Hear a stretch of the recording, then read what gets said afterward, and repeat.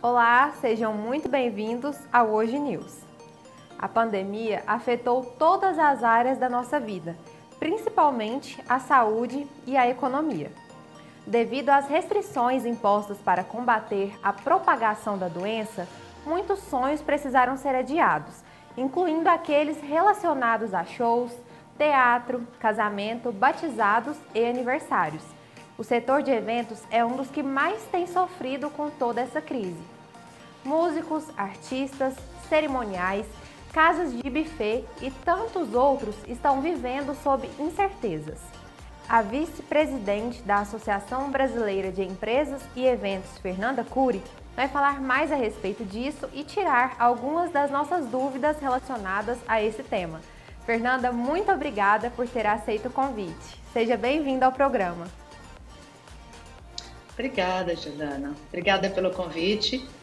Estamos aí à disposição para falar um pouquinho dessa área que, como você mesmo disse, foi bastante, né, uma das áreas do setor mais impactado que tivemos nessa pandemia. Fernanda, é, como você avalia os prejuízos para o setor de eventos de Goiás devido à Covid-19? Prejuízos grandes. Nós hoje representamos 52 segmentos na cadeia do setor de turismo e estão todos inativos.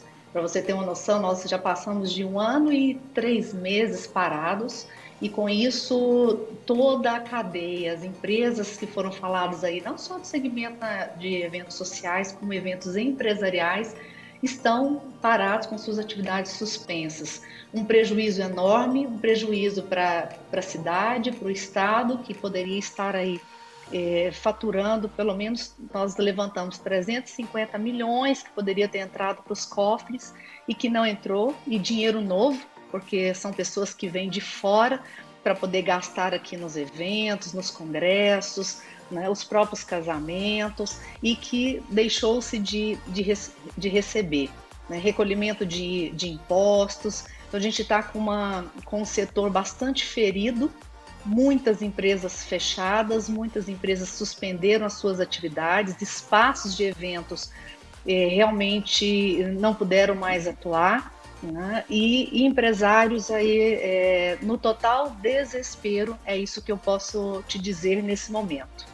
Fernanda, e levando é, tudo isso que você falou em consideração, quais são as estratégias adotadas desde o ano passado para enfrentar essa crise? Bem, as estratégias ficam até difíceis e eu creio que desde o ano passado nós lutamos muito sobre é, com a forma como o governo poderia nos auxiliar, como nós empresários mesmo poderíamos fazer dentro disso.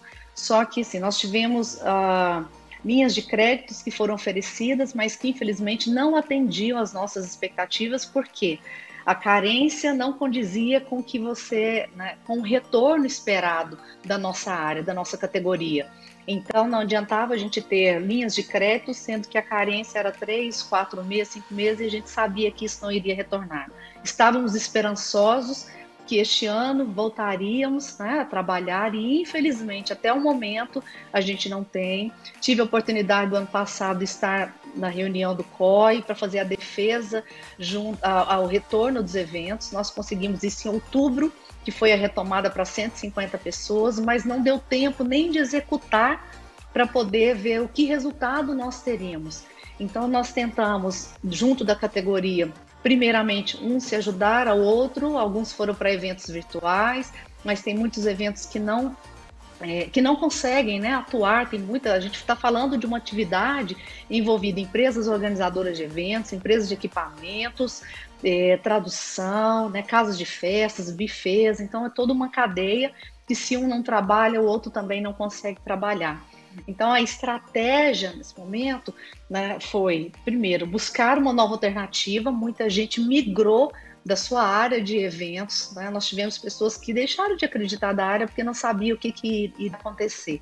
Né? E, e, a gente não sabe se, se vão retornar quando tudo isso acabar. E até porque o mercado ele vai, né, vai seguir para outro caminho.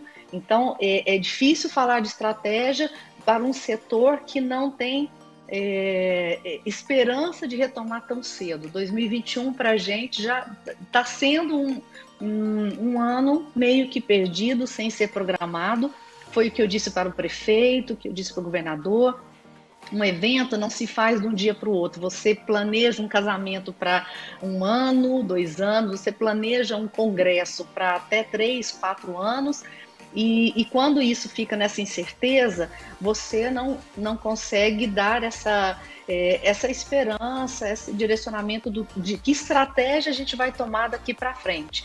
Então, muito difícil, Jordana, é, é uma área que está muito impactada, que tem repensado se eu, se eu atuo em, em evento social, se eu posso trabalhar com empresarial ou não. Então, uma das coisas que eu queria até deixar claro aqui é que a gente tem dois pontos nós falamos de eventos empresariais e eventos sociais.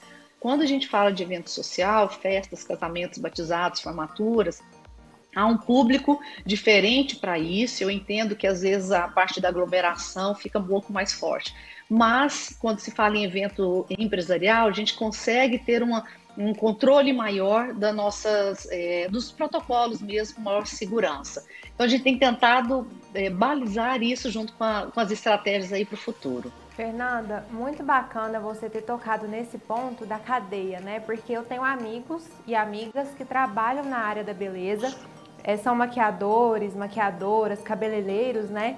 Que se veem assim extremamente prejudicados por conta de todo é, esse vai não vai dos eventos é, para muitas pessoas. Ao mesmo tempo que a gente pode contar com um grande número de pessoas chega no mesmo momento né por causa do decreto e já tem que diminuir. Então realmente na minha opinião como você falou é realmente uma das áreas mais afetadas e está sendo muito difícil Fernando. Eu tenho eu tenho observado isso de perto também é, sem falar que essa, esse planejamento, evento é planejamento. Então, quando você diz que num decreto você está liberado para 150, como foi agora para eventos sociais, todo mundo se planeja. Aí daqui uma semana, 15 dias, né, é, as análises que tem dos, dos dos decretos, você de repente reduz para 50%. Então, um casamento que estava preparado para 150, como é que você agora vira e fala, não, eu só posso fazer para 75? Né? Como é que você dentro de um... Hoje não, os eventos empresariais, eles estão liberados, né, vai serem feitos desde que tenha um distanciamento de 2,25 metros por, a cada pessoa, mas mesmo assim, em contato com os centros de convenções, com as casas de eventos, ninguém consegue falar como é que eu vou fazer um evento, sendo que eu não sei se daqui tantos meses, se vier aí uma nova onda, ou se tiver um novo decreto que proíbe fazer um congresso, como é que eu faço com tudo que está reservado? Então, a mão de obra que é contratada para um evento, como você disse, é o cabeleireiro, é a maquiadora, é a recepcionista, é o garçom. Hoje eles não têm nenhuma perspectiva de, de trabalho, estão migrando para outras áreas porque é um setor que não tem, é, é, a gente não consegue ver uma luz no, no, no fim do túnel uh, tão cedo. Fernanda, e existe uma estimativa relacionada ao tempo que o setor pode demorar para se recuperar? É uma pergunta difícil. A gente sempre teve muita esperança que retornasse, mas para voltar mesmo ao normal, ao que era, e que eu digo assim, de ter os eventos, a gente considera aí pelo menos uns dois anos pela frente. Muita gente que é, é ou que fechou, que reduziu a sua estrutura, ela para retomar, muita gente que demitiu, né, fechou, fecharam as empresas. E o mercado não nos sinaliza quando isso retorna. Né? Os nossos eventos, os nossos congressos estão todos adiantos para 2022, 2023. Então, se a gente considera 2020 para isso, eu estou falando de três anos.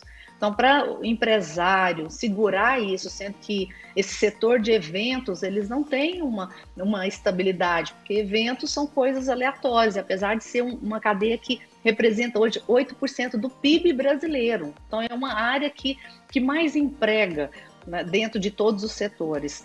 E, e isso é, deixa a gente sem saber assim, quanto, mais ou menos quanto tempo, mas pode ter certeza que no mínimo dois anos para a gente voltar a se reestruturar. É, como a gente estava conversando agora há pouco, Fernanda, o antigo decreto permitia até 150 pessoas em um mesmo ambiente. E o que entrou em vigor nessa semana permite até 75. que as pessoas que já marcaram as festas devem fazer? Complicado, né? Adiar, é, a gente fala de um sonho, né? Os casamentos, os eventos, os batizados, enfim.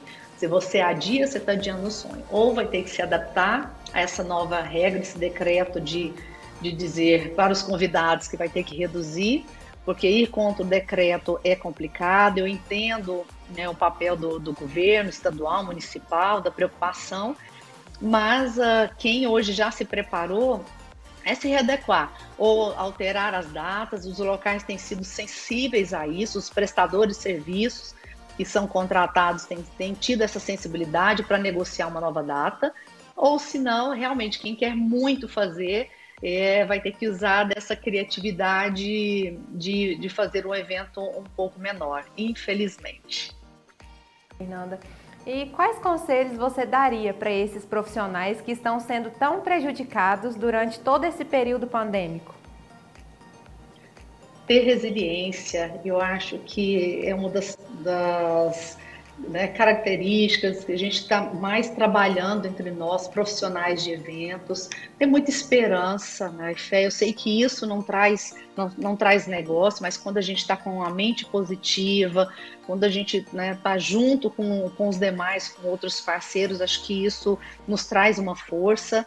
Uh, isso vai nos ajudar a, a, a, passar esse momento difícil que está para todo mundo. O que a gente pede para as autoridades é que olhe com carinho a nossa área, assim como as, uh, as igrejas voltaram, uh, as escolas, os clubes, né, outros locais estão retor já retornaram.